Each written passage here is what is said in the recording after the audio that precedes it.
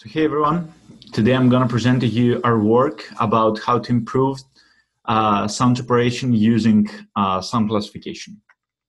So ideally, we would like to be able to automatically extract all types of, of, of sources, all types of sounds, without caring about the category that they belong to.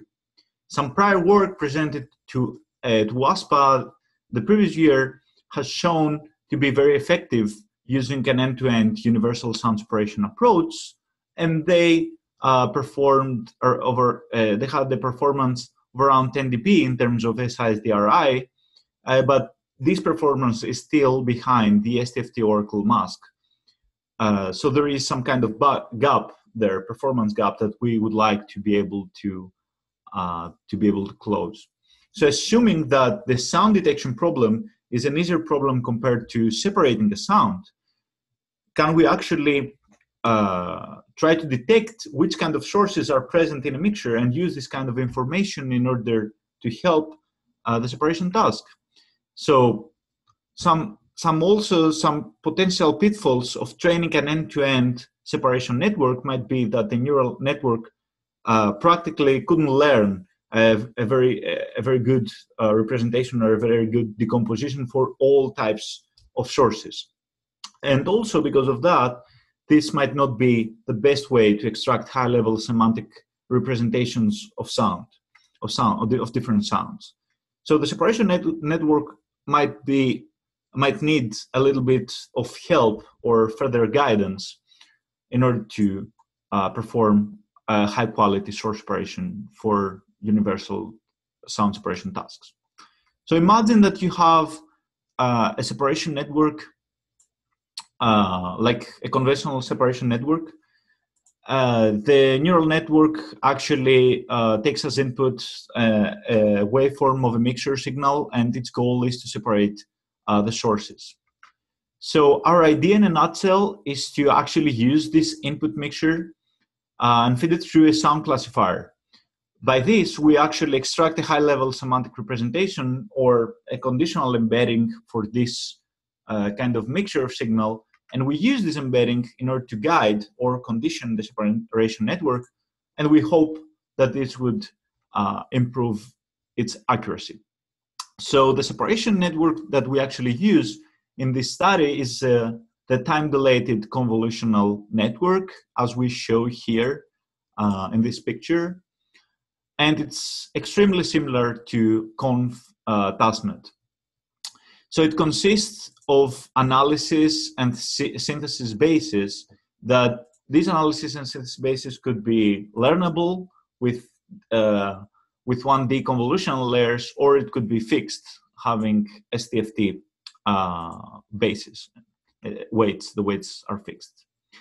Also, the, separate, the separator module that we show here consists of several 1D separable convolutional uh, stacked separable convolutional blocks and some residual connections uh, from, from the previous blocks.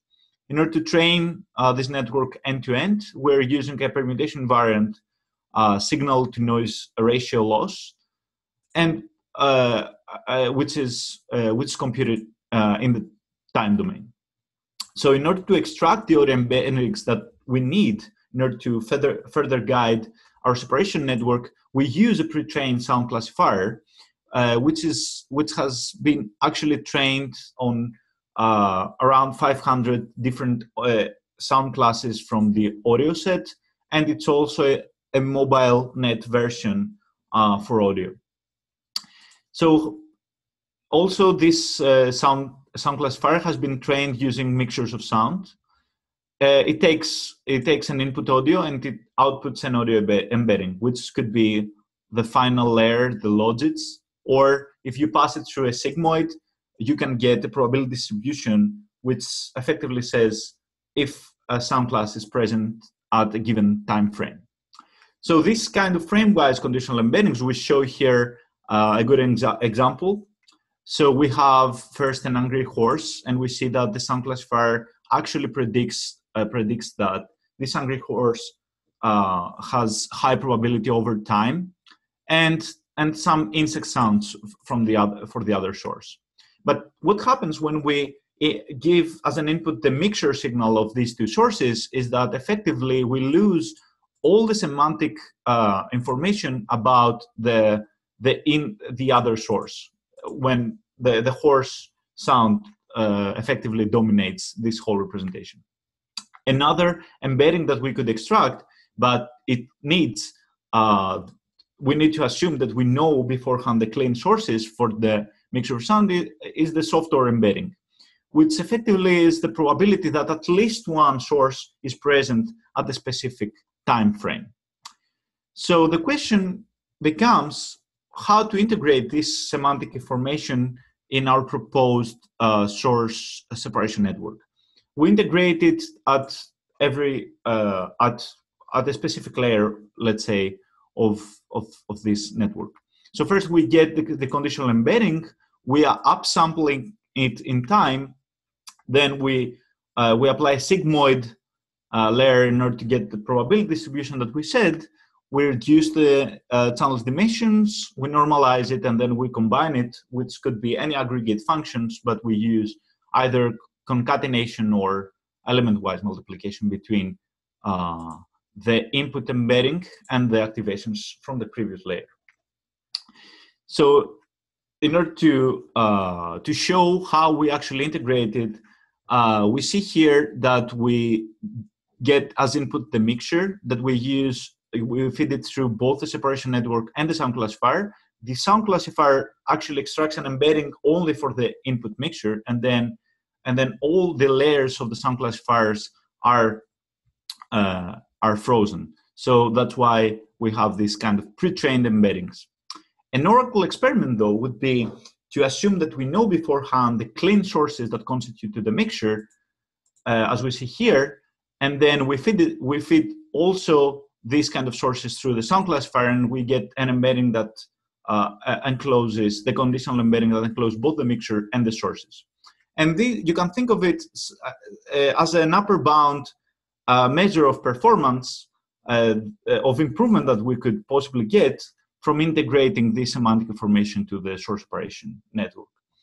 So another another Oracle experiment would be instead of having embeddings for uh, for all these, we could exchange uh, this embedding, this concatenation of embeddings with the soft-OR embedding as we have shown before. So there is a problem that the pre-trained mixture embedding might not be apt for the task, might not be apt for guiding the separation network. And this could be explained because the embeddings are trained on totally different data uh, and under totally different laws uh, for for for uh, for audio event detection, let's say. So what we do is that we actually try to fine tune the last la layers here of the sound classifier.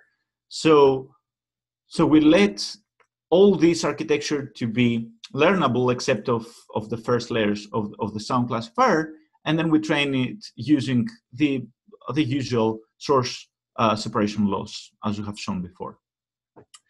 Another thing that we could do is that we could probably estimate, uh, do a first estimate of the clean sources, use use them uh, and use them further for uh, for performing the final source separation. So what we do is that we have a copy of the exact same architecture with the, the fine-tuned embeddings. And we, we perform some estimates for the two sources. So after we estimated in the first iteration, which has totally different, uh, totally different weights from the, the second version, the second iteration, we feed them through the second classifier and we get some estimated conditional embedding uh, for the sources and the mixture. And this this is in order to perform the uh, to make better the final source separation that we actually care for. So we call this scheme iterative separation and refinement of embeddings. And as i said before first we estimate the separated sources and we feed them through the second classifier and the separation network. And we use this kind of estimates in order to extract the final conditional uh, embeddings and make uh, the final separation even better so we have one loss here for the in order to make the first uh, uh, separation even better, and the another loss at the end uh, which which says make the final estimate reconstruction of the sources better. We can also further guide this uh, this iterative scheme, as we have shown before, using as uh, as targets the ideal embeddings uh, that we would like to uh, to drive our our embeddings, our output embeddings to. So we do we do that by using uh, cross entropy loss First of all, we have the mixture embedding that we would like ideally to make it look like the soft-OR embedding. And at the second loss, at, uh, at the second classifier, we see uh, uh, that we would like also to make the source embedding look like the, the embeddings that we get from the clean sources. So we conduct experiments on universal sound separation task when two sources are active uh, for, uh, for its mixture sound. So we have a wide, a wide variety of, of different sound classes uh, extracted from ProSound datasets, and we have at least um, 11 hours of training mixtures. So the, as an evaluation metric, we use the permutation invariant, scale invariant signal to distortion ratio improvement over the input mixture of sound. So in terms of SISDR, of absolute SISDR perfor performance improvement, we see that compared to the baseline with no embedding, uh, we see a consistent performance improvement when we use the embeddings, uh, uh, even even for uh, the simple separation network when we condition this simple separation network. Also, we see exact the exact same effect when when we fine tune the last few layers of the sound classifier. And for the proposed model, the iterative uh, refinement of embeddings and separation approach uh, using the embeddings, we see that also uh, we see also that there is this performance improvement over the baseline, over the iterative baseline with no embeddings. And, and we see that this improvement is around 0.5 dB uh, for both STFT bases and the learnable bases. Also for the, for the Oracle case that we assume that we know beforehand the clean sources and serves as the upper bound of performance, we see that we get 0.8 and 1.5 dB for the STFT and the learnable basis uh, respectively.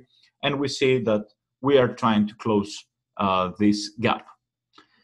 In order to conclude, we have proposed a new way to integrate conditional embeddings uh, of audio in order to perform higher quality sound separation.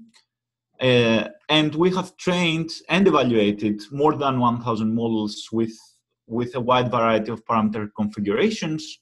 We have explored different ways of conditioning the networks and how we actually enclose and capture uh, this semantic information uh, so our results have shown that we could achieve uh, an improvement over, of around 0.5 dB for both learnable and STFT bases over the baseline when we, where we don't use any kind of embedding or guidance. So in the future, we would like to check wh whether the separation could actually help the further help the sound classification uh, classification task, and that's why there is uh, DCASE 2020 task 4 that you could also check by yourself uh, using the new uh, free universal sound separation dataset how this could happen. Uh, and also we would be interested to see if we could perform source separation with an unknown uh, number of sources. So thank you all very much. I would be happy to see you at the Q&A session.